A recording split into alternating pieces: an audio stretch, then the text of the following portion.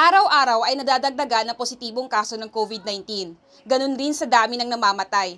Pero mababa pa rin ang gumagaling. May gamot na ba sa sakit na ito? Nabuhayan ng pag-asa ang mga netizens nang makitang may gumaling sa COVID-19. Isa na rito si patient 358 at nagpakilalang si Rogelio Bueno Jr. Ayon sa kanyang FB post noong March 29, isa raw sa mga gamot na ibinigay sa kanya ang hydroxychloroquine at mga antiviral medicines. Ngunit ano ba ang chloroquine?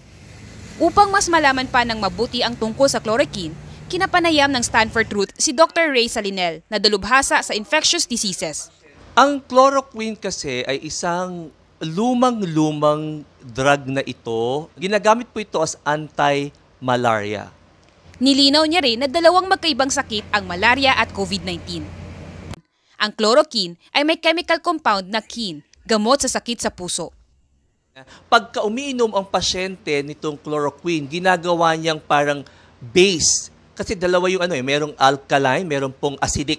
Ginagawa niyang alkaline yung, yung blood pH ng pasyente para hindi po ito conducive na makapasok sa cell ng isang taong may COVID patient. Iba-iba raw kasi ang mechanism of action at bisa ng mga antiviral drugs sa mga sakit sa loob ng katawan ng tao. Kaya naman, maingat ang prescription sa gamot na ito. mas gusto ng mga doktor o ng mga scientist pong ibigay ito sa mga malala pong mga kondisyon katulad ng mga ICU patient at mga intubated or mga naka-respira- naka-respirator na mga patient. Dahil maaari itong mauwi sa komplikasyon. Posible pong maapektuhan ng puso, pwede pong maapektuhan ng kidney, ang liver po natin, pwede kayo magkumbulsyon. Babala ni Dr. Salinel, Kasi hindi ito basa-basa po iniinom. Hindi po ito over the counter. Hindi po ito basa-basa binibigay. Kinakailangan po ito ibigay sa mga mas malalapang kondisyon ng mga COVID-19 patient.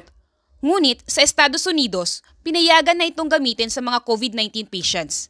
Ayon sa tweet ni President Donald Trump nitong nakaraang linggo, this could be a gift from God. Ayon naman sa Department of Health, ang chloroquine ay isang off-label drug at kailangan pa ng masusing research, randomized controlled trial at testing para makasiguro at maiwasan ang side effects nito. Kaya naman, hindi pa nila nire-recommendang gamitin ito. Bagamat hindi pa buo ang research at study sa epektibo ng gamot na ito laban sa COVID-19, ito naman ay nagbibigay ng pag-asa sa ating lahat. Sabi nga ng mga scientists at eksperto, huwag gamitin itong self-medication dahil ang tunay na kalaban sa tunay na kalutasan ay ang padalos-dalos sa desisyon. I am Manal Sugadol, I stand for truth.